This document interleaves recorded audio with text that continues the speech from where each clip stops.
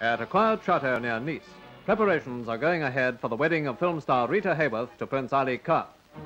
In a romantic setting, the engaged pair wander through the grounds as they discuss their future plans.